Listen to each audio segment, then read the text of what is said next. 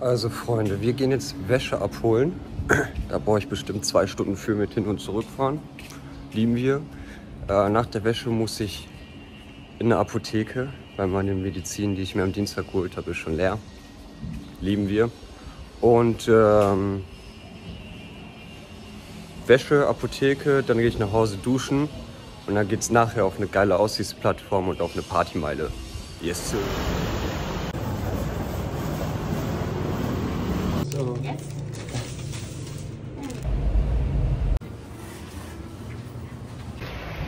Digga, als ich der gerade erzählt habe, dass ich seit zweieinhalb, ich meine sogar drei Tagen am Dünnpfiffen bin, so hat die geguckt. Ich so, yeah, I have diarrhea since two days already. I was already at pharmacy.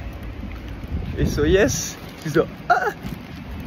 Also anscheinend nicht ganz so normal, das länger als drei Tage zu haben. Sie hat mir jetzt was Neues gegeben. Mal gucken, ob das dann äh, morgen endlich weg ist, Digga. So eine Scheiße, ja. So eine Scheiße. Ich habe einfach drei Stunden gebraucht wegen dem Verkehr und weil Bangkok so fucking riesig ist, um meine Wäsche zu holen um wieder zurückzukommen. Drei Stunden. Bruder. Boah, jetzt erstmal ein Rauchen, duschen und dann geht's ab, Alter. Scheiße, fuckt es mich an. Ab, sorry, muss ich kurz nochmal sagen. Bangkok ist fucking riesig. Drei Stunden, um meine Wäsche zu holen. Was geht, Digga? Okay, Freunde, wir sind jetzt völlig durchgeschwitzt beim, äh, ich glaube, größten, äh, Digga, größten Hochhaus in äh, Bangkok angekommen. Äh, und da oben gibt es so eine Aussichtsplattform und so ein Skywalk heißt das, mit so einem Glasboden. Bei meiner Höhenangst werde ich mir so die Hosen einscheißen, ne? aber mal gucken. Ähm, freue mich eigentlich auf die Aussicht. Ich weiß nicht, wie ich hier das Hochhaus auf Bild bekommen soll. Ich glaube, ich baller einfach so ein Bild aus dem Internet hier kurz rein. Und dann äh, wisst ihr auch, wie das Ding aussieht und dann sehen wir uns oben wieder.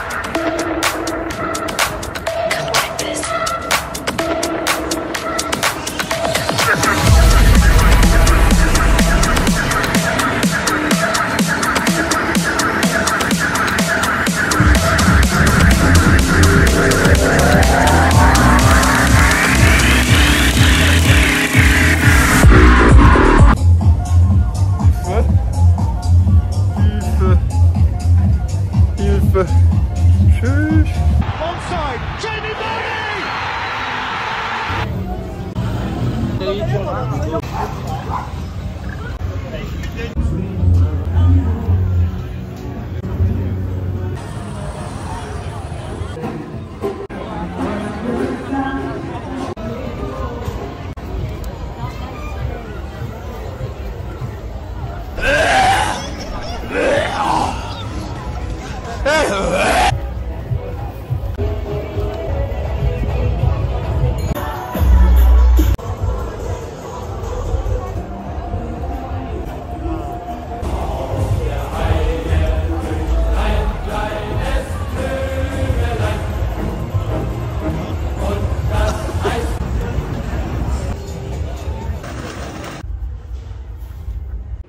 Ja, ähm, jetzt am Ende war ich auf so einer Partymeile hier, aber es war erst 8 Uhr abends, da geht es jetzt so Richtung 10, 11 Uhr los. Aber ich war mit so einem Typen da, den ich hier kennengelernt habe, ähm, weiß gar nicht mehr, wie der heißt, äh, aus Cape Town. Ähm, Nein, er war nicht äh, dunkelhäutig, bevor jetzt hier irgendeiner mit Rassismus kommt. Ähm, aber der Typ war so komisch, Digga. Ich hatte gar keinen Bock da mit dem noch länger mit dem zu chillen oder so. Ich bin mich einfach durchgezogen. Wieder ins Hotel.